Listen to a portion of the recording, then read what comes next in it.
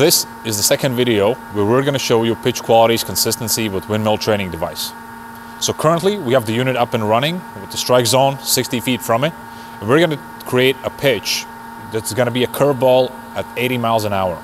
So we simply take down a bit the velocity, we increase the spin to get the 3000 RPMs, and we put it at 6 o'clock.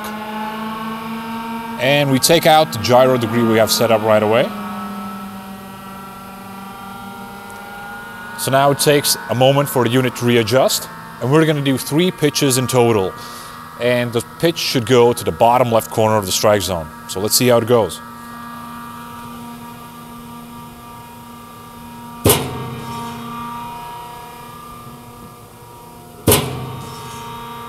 So we can see that pitches go very accurately and keep the same position locked in throughout the sequence.